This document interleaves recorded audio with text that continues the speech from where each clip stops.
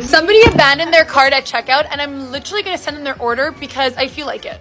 Her name is Juliana and she got the lucky necklace in black. Okay, I'm gonna go in the warehouse and get the necklace for her. Okay, let me show you the necklace because it is so cute and I just want her to have it. Here she is.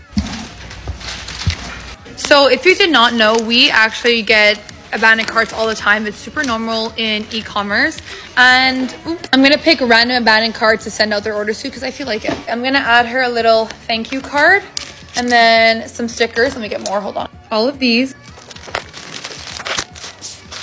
And then I'm gonna add her a little handwritten note because when she gets in the mail, she probably won't understand. So I'm gonna like explain her what just happened.